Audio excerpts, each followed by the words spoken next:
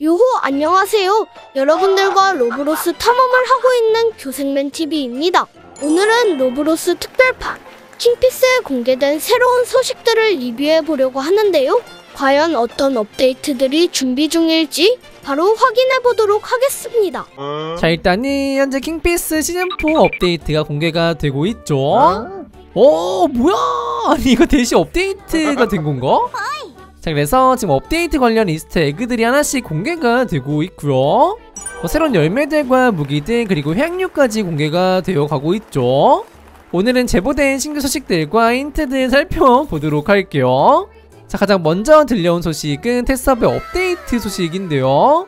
어, 지난주까지 업데이트가 멈춰서 중단 소문도 돌았었죠. 어, 하지만 현재 테스업의 업데이트 날짜가 최신으로 되었다고 하더라고요 어, 지금 보시다시피 6월 7일의 날짜로 되어 있는 모습입니다.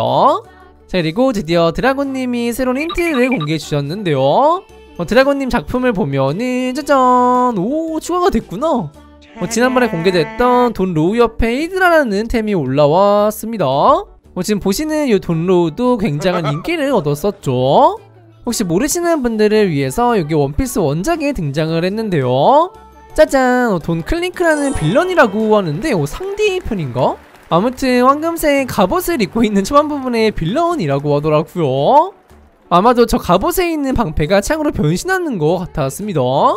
자 그래서 대망의 히드라 릭이라는 아이템이 등장을 했는데요. 어, 이미지를 보면은 해양류인데 머리가 3개나 달려있다.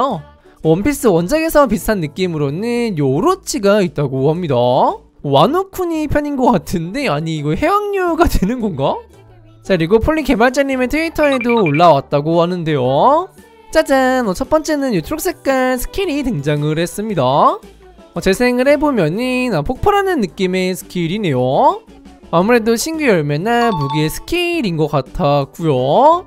자 바로 이어서 두 번째 영상도 제보가 되어 있더라고요. 이거는 일단 파란 색깔 마우스로 조종을 할 수가 있는 것 같고 오 과연 어떤 컨셉으로 만들어진 스킬일지.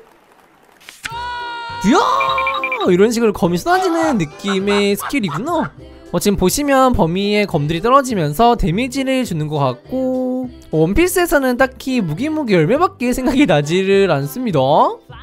자 게다가 디코 커뮤니티에서도 신규 힌트가 공개가 되었다고 하는데요. 어, 일단은 이 푸른 색깔 스킬도 이번에 출시가 되는 능력이고요 어, 그 밑에 신규 힌트가 떴다고 하는데 오 이건가 보다.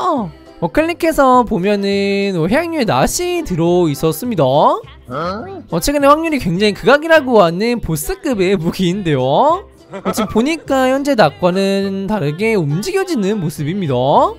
자 다음은 양초 열매와 비슷한 신규 열매가 등장을 했고요. 어, 이거는 신규 열매라고 보내셨는데 어, 베리어랑 기린 섞은 거 아니야?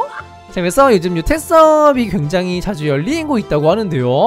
오 아니 근데 테스업은 완전 신기하게 생겼다. 오 뭐야? 지하세계였던 건가? 자 그래서 예전에 개발자 영상에서 등장했던 능력들이 주목을 받고 있고요. 가끔가다 로벅타임 이벤트도 하고 있으니까 댓글에 닉네임 부탁드리겠습니다. 요호 오늘은 로블록스 특별판 킹피스에 공개된 새로운 소식들을 리뷰해 보았는데요. 어, 조만간 대규모 힌트가 뜰 예정이라고 하니까 다 같이 기대해봐도 좋을 것 같습니다. 제 벤 참여나 궁금하신 컨텐츠는 댓글로 남겨주시고요. 다음에 또 재밌는 영상으로 찾아뵙도록 할게요. 그럼 안녕. 뿅